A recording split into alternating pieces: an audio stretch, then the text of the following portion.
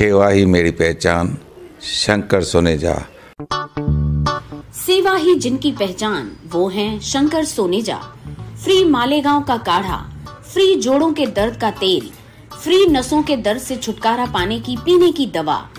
सेवा का लाभ उठाइए सदैव आपकी सेवा के लिए हाजिर रहते हैं Shankar Soneja Rishto dot com India जी number one Sindhi online matrimony.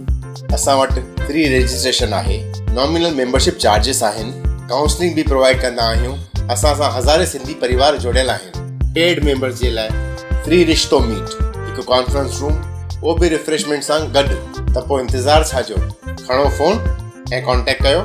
रिश्तो डॉट कॉम नमस्कार मैं राजेश दलवानी आप देख रहे उल्लास लाइन बुलेटिन। शहर की ताज़ा खबरें देखने के लिए हमारे न्यूज़ चैनल को ज़रूर सब्सक्राइब करें। इन दिनों उल्लासनगर शहर में दुकानदारों और व्यापारियों को लगातार निशाना बनाया जा रहा है। कभी उनके साथ मारपीट तो कभी लूटपाट की वारदातों को बदमाश अंजाम दे रहे हैं।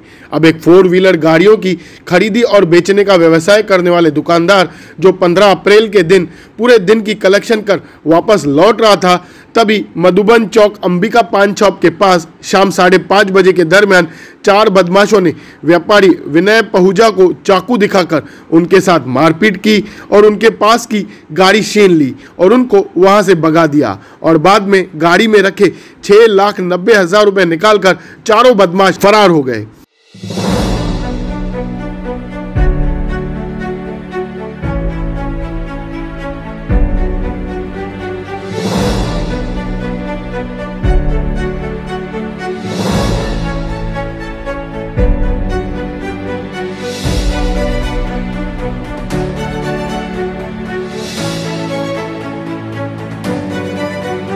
जहाँ इस लूट की वारदात की शिकायत विनय पहुजा ने उल्लासनगर पुलिस स्टेशन में दर्ज कराई और शिकायत दर्ज होते ही पुलिस भी हरकत में आई। इस लूट को अंजाम देने वाले गौतम फुलवाणी करण हेमनानी, रोहित सिंह और करण तलवानी, इन चारों बदमाशों को पुलिस ने गोवा से गिरफ़्तार किया है।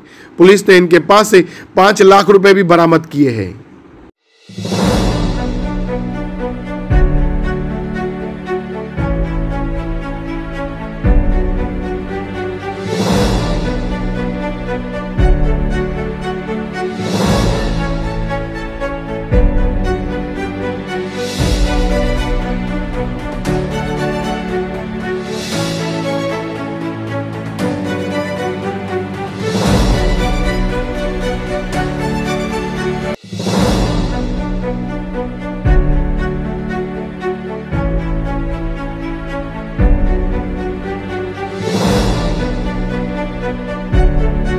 मैं भारत पहुँचा मेरी उम्र है पच्चीस साल।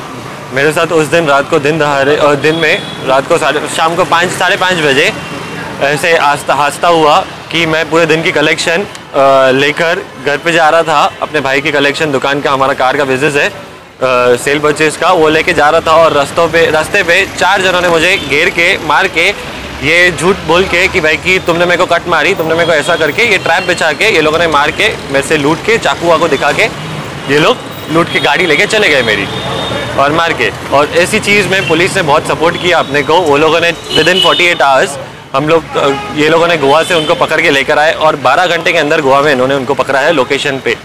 किसी को पहचानते थे क्या आप? किसी को भी मैं नहीं पहचानता था सबके सब मेरे लिए नए फेसेस थे। तो मेरे साथ हुआ, वो किसी के साथ ना हो, सब व्यापारी लोगों को, सिंधी और सब जितने भी लोग हैं, सबको मैं बोलूँगा कि भाई कि अपना ख्याल रखे और समझ संभल के रहे।